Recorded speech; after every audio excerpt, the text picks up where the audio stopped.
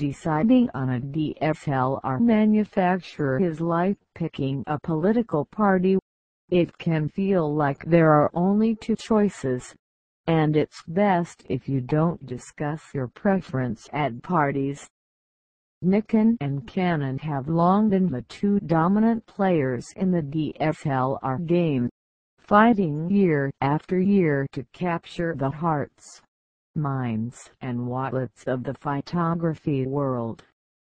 When it comes to DSLRs with full-frame 35mm sensors, Nikon has recently taken the strategy of simply outnumbering Canon it has released a staggering 13 full-frame 35mm bodies since its first Nikon D3 back in 2007. Canon has released only five in that time, excluding the various Cinema EOS bodies. Nikon opened that gap up considerably in the past year, bringing the new D4S the D610, the D810, and the DF to market. The fifth buddy in this year suddenly packed lineup is the Nikon D750 MSRP $2,299.95. The D750 is designed to bridge the gap between the entry-level D610 and the professional-level D810. The D750 combines the updated 24-megapixel sensor from the D610 with the processor of the D810 sprinkling in a few video-centric nods to produce an entirely new class of camera for Nikon. A hybrid full-frame DSLR specifically designed for videographers. Nikon isn't known for upending the apple cart when it comes to design. If you have picked up the Nikon in the past decade, the Nikon D750 will feel instantly familiar. From a control perspective, it's practically identical to its little brother, the Nikon D610. And despite the D610 being lower down the product lineup, the D750 is actually a few millimeters smaller. Even if you haven't shot Nikon in a while, shooting with the D750 is like reacquainting yourself with an old friend. It's not long before it'll feel just as comfortable as it once did. As with previous Nikon bodies, the main focus is on composing your shot as the only controls you can easily access with your right hand are aperture, shutter speed, AF-AE lock, and the shutter button. Everything else including metering, white balance, and ISO is shuttled off to the top left corner, requiring the second hand to operate. Long-time users will get by just fine. But it's very different from the setup used by Canon's DSLRs, or most mirrorless cameras.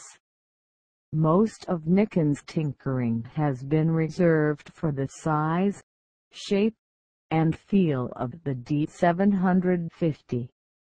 The grip is deeper than the previous Nikons, but the entire body itself is a bit smaller and lighter than the D610. It is down to just 840 grams without a lens which leads to less fatigue when using the camera over long periods of time rare for a full-frame body.